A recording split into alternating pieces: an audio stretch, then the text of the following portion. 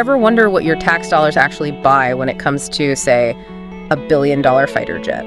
Well, get ready to dive into the deep end of the U.S. military budget.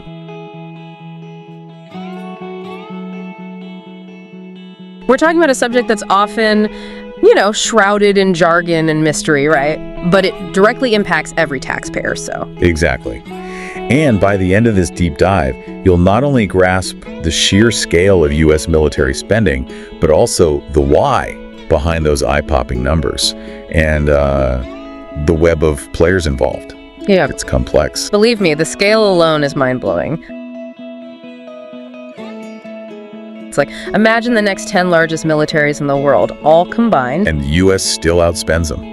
It's a powerful way to drive home the point about U.S. military dominance globally. Totally. But dominance comes at a cost, obviously. And understanding that cost is where our deep dive really begins. Okay, so let's unpack this massive budget, shall we? We've got categories like operations, personnel, research and development. All the things you'd kind of expect, right? Yeah, right. But then it gets interesting. Did you know, for example, that even cleaning up environmental messes we're talking about, those left by military bases, even that falls under the umbrella of defense spending. Really? I mean, it makes sense, but... Wow. It highlights how far-reaching this budget is. And it's not just environmental cleanup.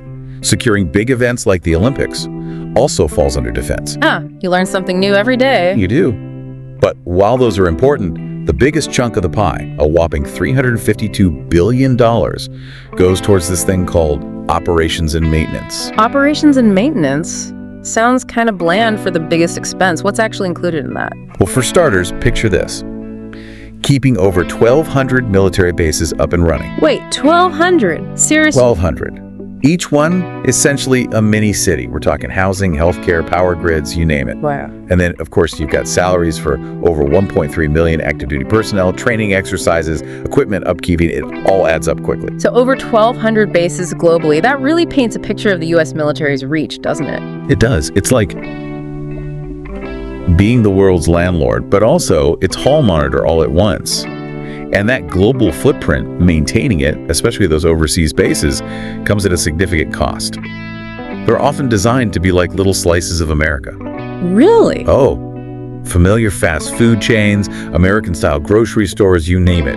It's all about maintaining morale. I guess that makes sense. But still, it makes you wonder if those billions could be spent in other ways that maybe bolster global security, but differently. It's a valid question. Yeah. But for now, we've got to address the, shall we say, the elephant in the room. Private defense contractors. Ah, yes. The private sector's role in all of this. This is where things get really interesting, right? Absolutely. We're talking about companies like Boeing, Raytheon, Lockheed Martin, names synonymous with some of the most advanced and expensive military hardware out there. And these companies aren't just like passively waiting for government contracts, are they?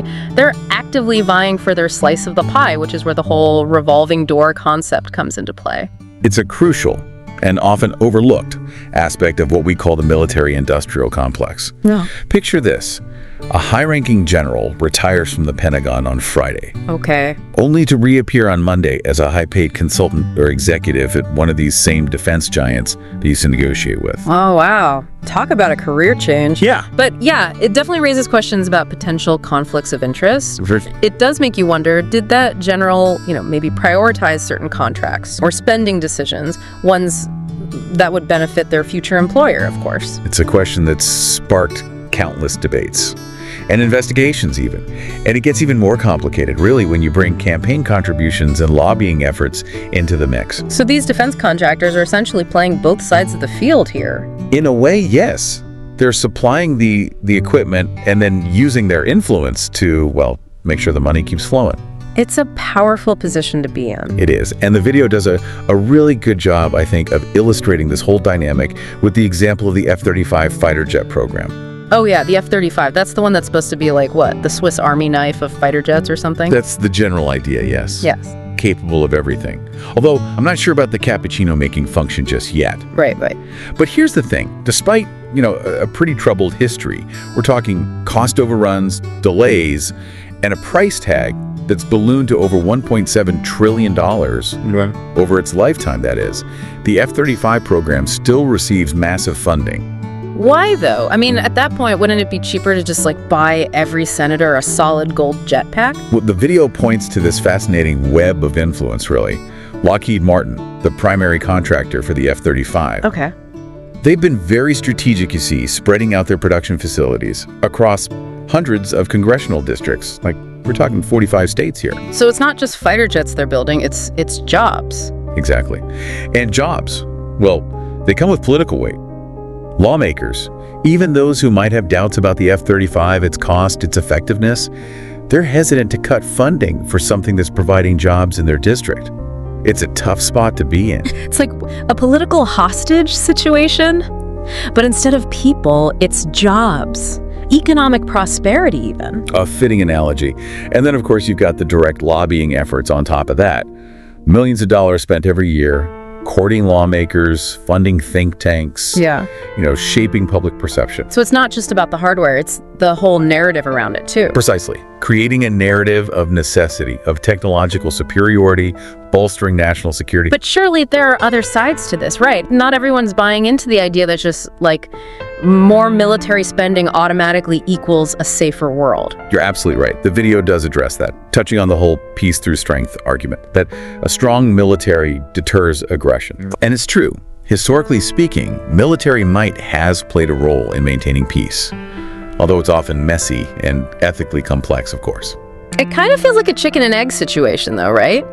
Does military strength deter aggression, or does it just lead to like an arms race, everyone trying to keep up with the Joneses, or, well, I guess in this case, the US military? The million dollar question. Yeah. and one that historians, political scientists continue to debate, really. The video actually uses the Cold War arms race as an example, the US versus the Soviet Union, Right, which, yeah, didn't lead to direct conflict, luckily, right. but it definitely created a lot of anxiety Hmm. and wasted resources, probably. Not to mention enough nuclear weapons to destroy the planet like a dozen times over. Exactly. And that brings us to a, a crucial point, I think. Military spending, it doesn't happen in a vacuum. It's part of this whole web of things. Geopolitical realities, economic interests, domestic priorities. So, where does that leave us then? I mean, if we accept that the US military budget is this this massive complex thing shaped by all these different factors, what are we supposed to do with that information? And that is the question the video leaves us with. Yeah. What are the alternatives? What if some of those billions, even a fraction, were redirected to diplomacy, for example, Yeah. or development aid, maybe even addressing the root causes of conflict, like poverty and inequality? It's Something to think about.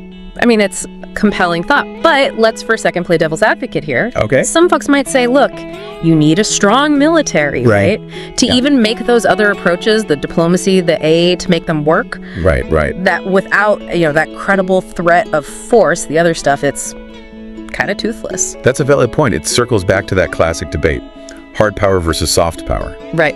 But the key, I think, is balance. Mm-hmm. Just like relying too much on military might can be, you know, destabilizing, even counterproductive. Yeah. Neglecting those diplomatic tools, the developmental ones, that undermines our long-term security too. It's like that saying, right? If all you have is a hammer, everything looks like a nail.